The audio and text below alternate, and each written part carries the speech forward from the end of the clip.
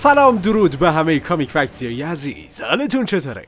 من ارفان هستم و امروز با ده تا از قدرتمندترین قهرمان های همیشگی مارول در خدمت شما. خیلی وقتی که بهم گفته بودید راجع به قوی ترین قهرمان های دیسی و مارول ویدیو بسازیم و خب این ویدیو هم تقدیم به یکایی که شما رفقای کامیک فکتی خودم.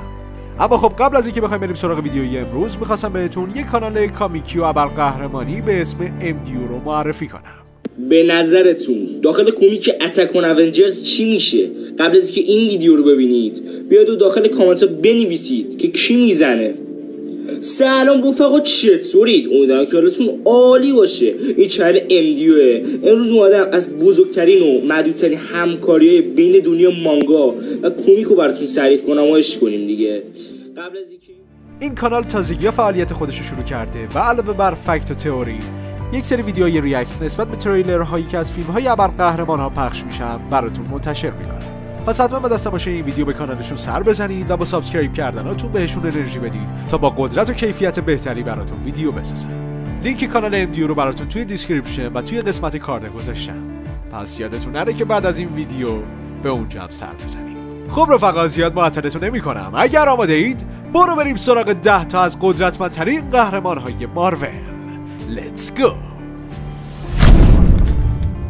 شماره ده ویژن. ویژن شاید توی کامیکا دستکش ابدی همراهش نباشه اما این به این معنی نیست که قدرتش از شخصیت توی فیلمش کمتره. اون توسط ربات اولتران به عنوان ابزاری جهت نابود کردن انتقامجوها ساخته شد. ویژن یک ربات با ظاهر انسانه و همون ذهن واندرمن رو داره. و بنابراین تصمیم می‌گیره که به قدرتمندترین قهرمانهای زمین ملحق بشه. ویژن طی سالهایی که پیش رو داشت با اشرار کوچیک و بزرگ مسابقه داده. اون می‌تونه امواج ماکروویو رو ساطع کنه و توانایی پرواز کردن و قدرت‌های ای داره. اگر همه قهرمانهای زمین توی زمین مسابقه دور هم دیگه جمع بشن می‌تونم ضمانت کنم که ویژن از اون ابر قهرمانایی هست که تا آخر مقاومت می‌کنه. شماره 9 هرکولس. بعضی از شخصیت های مارول هستن که از اساطیر الهام گرفته شدن هرکول هم یکی از اوناست. اون سالها یک انتقامجو بوده و از نظر قد و قامت هم حتی با سر رقابت می‌کنه.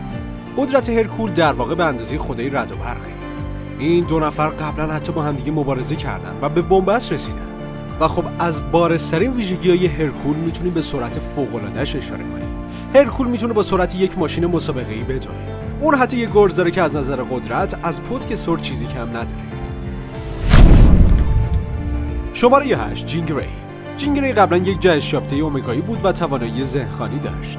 اما خب وقتی پتانسیل کیهانی فنیکس رو در نظر بگیرید یک ایکس من فوق العاده قدرتمند به دست میارید. خب بچه‌ها بهتره یه خورده بریم عقب. اون وقتی که مرد و دوباره از توی قبر برگشت این بار اون جین گری که دست کمش می‌گرفتن نبود. اون چه داخل یا چه خارج از کنترل فونیکس باشه یک نیروی واقعی که باید روش حساب کرد. وقتی فنیکس به عنوان یک موجود بیگانه وارد عمل شد جین تبدیل به یک قهرمان کهکشانی برجسته در جهان مارول شد. اون با یه حرکت می‌تونست مردم رو محو کنه و حتی مواد رو در سطوح مولکولی دستکاری کنه. اون در نبرد برای آزادی جهش یافته ها نقش کلیدی داره. و خب فکر نکنم که اصلا ایکس منی وجود داشته باشه که به حد اون برسه. نظر شما چیه هم شماره هفت سیلور سرفر. اون یکی از شگفتی های ماروله. یک روز داخل یکی از داستانهای چارشگف انگیز جک کربی و استنلی به این نتیجه رسیدن که بهتر یک شخصیت سوار بر یک تخته موج سواری بسازن. و اون موقع بود که شخصیت سیلور سرفر خلق شد. اون یکی از شخصیت های مورد علاقه لی بود. اون طی سالها ستاره بسیاری از داستانهای شاهکار بوده. اگر نمی‌دونید که از کتاب سیلور سرفر چی آیدتون خواهد شد بهتون ضمانت می‌کنم که این شخصیت کارهای قدرتمندانه خواهد کرد. اگرچه اون اولش به عنوان فرمانده گالاکتوس معرفی شد اما اون یک شخصیت آزاده که توی کهکشان سفر می‌کنه و به هر کسی که نیاز داره کمک میرسونه. و گاهی هم با دشمنایی که سر راهش قرار می‌گیرن مبارزه می‌کنه. سیلور سرفر توی حقیقت متناوب حتی از دستکش ابدی هم استفاده می‌کنه. دیگه نگم براتون سیلور سرفر خیلی خفنه. شماره 6 هالک. هالک شگفنگیز شاید نیروهای موجودات نامیرای کهکشانی رو نداشته باشه اما همیشه یکی از قدرتمندترین شخصیت های مارول بوده. تا الان دیگه حتما همه ماجرای هالکو می‌دونن دیگه. دکتر بروس بنر گرفتار یک اشتباه توی آزمایشگاه هسته‌ای میشه و در معرض دوز کمی از اشعه گاما قرار می‌گیره. اون تبدیل به یک توپ سبز بزرگ خرابکار با یک سری مشکلات عصبی شد. هالک شاید قدرتمندترین قهرمان سیاره زمین نباشه اما قطعا جز قهرمان ترین هاست. بچه ما نمی‌تونیم به این شخصیت یک حالت قطعی رو نسبت بدیم چون هر چقدر که عصبانی تر بشه قدرتش هم همونقدر بیشتر میشه. اگر هالک توی یک حالت احساسی قرار بگیره که قبلا توش نبوده دیگه نمیشه جلوشو گرفت. حتی استن لی هم میگه که قوی ترین شخصیته اما خب بعضی از جا دیده شده که اون نسبت به بعضی از شخصیت ها دچار ضعف و ناتوانیه. شماره 5 دکتر استرنج. استفان استرنج یکی از قدرتمندترین جادوگرای سیاره زمینه. دکتر استرنج از وقتی که در سال 1960 توسط استن لی و استیو دیتکو خلق شد همراه با انتقام جوها مبارزه کرد و در نجات جهان از دست تانوس نقش مهمی داشت. اون به همراه نیمورو هالک یکی از اعضای اساسی مدافعان بوده و حتی یکی از اعضای ایلومیناتی هم بوده. دکتر استرنج نه تنها بهترین جادوگر بلکه خودش رو هم ثابت کرد و در مقابل تهدیدات زمین ایستاده. اون به عنوان قدرتمندترین جادوگر در تمام کیهان معرفی شده و تجسم زندگی زمانه. البته توی این نووی هوم ظاهرا خرابکاریایی هم کرده که بی منتظریم تا ببینیم چی میشه دیگه.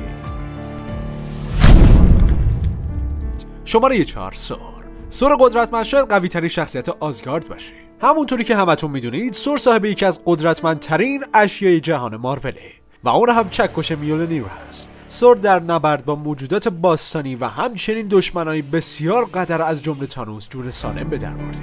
و خب در پاسخ بهشون رگباری از رد و برخهای جادویی داده که روی هم رفته این توانایی باعث شده اون در جایگاه چهارم لیست امروز ما قرار بگیره. شماره 3 کاپتان مارول.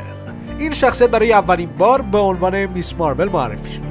کارول توی فرم بینریش توانایی این رو داشت که همه انرژی از حمله جاذبه گرما و تمام طیف الکترومغناطیس رو دستکاری کنه. اون مدت زیادی به عنوان یک ارتش یک نفره کار می‌کرد. اون قدرت نامحدودی داشت و کاملا مشخصه که چرا ورودش به MCU باعث تغییر روند بازی شد. اون یک رهبر یک مبارزه و یک برنده است. و حتی می‌تونه بدون توانایی که داره هم پیروز میدون بشه.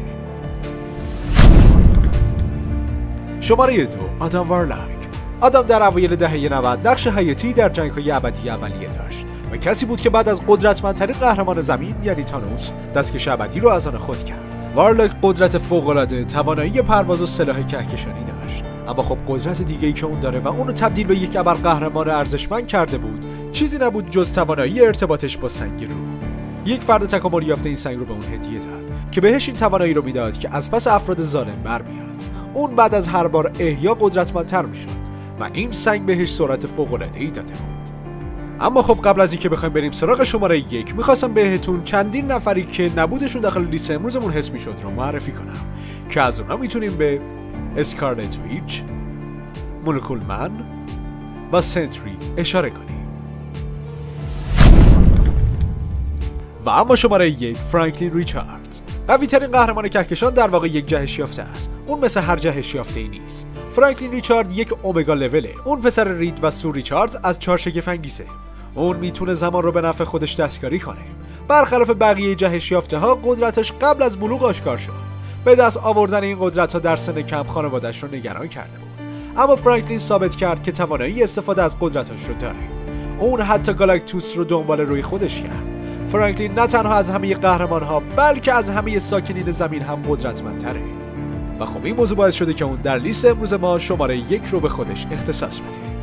خب بچه‌ها امیدوارم که از تماشای این ویدیو لذت کافی رو برده باشید. به نظرتون چه کسایی دیگه لایق این بودن که داخل لیست امروز ما حضور داشته باشن؟ و اگر نظری انتقادی پیشنهادی چیزی دارید حتما بهمون توی کامنت ها بگید. راستی یادتون نره که به کانال جدیدمون یعنی مگامایند هم سر بزنید. لینک مگامایند رو هم براتون پایین توی description گذاشتم. و دمتون گرم که تا اینجا همراه ما بودید. تا یک ویدیو کامیک فکس دیگه خدا نگهدار.